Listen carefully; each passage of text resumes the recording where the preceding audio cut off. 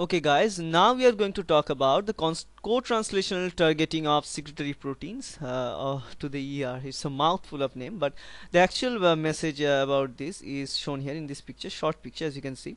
Uh, now the protein is uh, been is been translated, and the protein is translated in the in the workbench of ribosome, and ribosome sit on the endoplasmic reticulum, and right after the protein synthesis is done, the protein has to be transported inside the endoplasmic lumen which is called the targeting of these proteins. And most of the time the protein we are talking about are the secretory proteins. That means we need to produce that protein inside the endoplasmic reticulum lumen and then we need to transfer that protein from ER to Golgi and via the ER Golgi pathway to finally uh, which will uh, finally fuse with the cell membrane and release those protein outside the cell.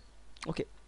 So now let us look at that in uh, in detail now all protein synthesis in eukaryotic begins in the cytosol where the ribosomal subunits come together and begin uh, the trans, uh, uh translating an mRNA near its 5' end okay. Soon after the protein start to emerge from the ribosome it may become the directed uh, to the endoplasmic reticulum which is ER it is targeted to ER if it is uh, ultimately uh, designated to incorporation into the ER Golgi apparatus lysosome or plasma membrane or if it is designated to of the secretion pathway. Okay.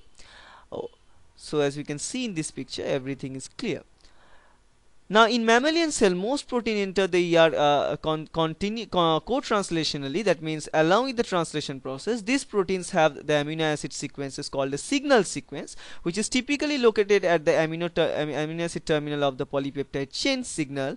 Now the signal sequence span about 20 amino acid as you can see now if I go back again let me uh, come here and tell you about the signal sequence first okay. Now the signal sequence span about 20 amino acid and includes a stretch of hydrophobic amino acids uh, presented by a basic amino acid sequence. Here is the stretches of hydrophobic amino acid and the presence of a basic amino acid. As a signal sequence emerges from the ribosome it is recognized and bound by a signal recognition particle which is SRP consisting of six polypeptides and small cytoplasmic RNA now the SRP binds to the ribosome as well as uh, the signal sequence and in so doing stalls the translation process. Now the SRP targets the entire complex to the rough endoplasmic reticulum by binding to an SRP receptor on the membrane of the ER which is denoted with blue. Now the GTP molecule binds with the SRP and the SRP receptor and the GTP bound targeted the transfer of the signal sequence from the SRP to membrane channel uh, which is called the translocon. Now hydrolysis of GTP to GDP leads to the dissociation of the SRP from the both of the receptor and the ribosome mRNA complex and it will remain only the uh, protein. Now the transfer of ribosome mRNA complex to the translocon allows the signal sequence to interact with the short hydrophobic side chain uh, located in the narrow neck of the translocon channel. Now this interaction uh, opens the translocon by moving the plug away from the translocon channel. A translocation proceeds in, in signal sequence is cleaved by the signal peptidase and the polypeptide is released into the lumen of ER.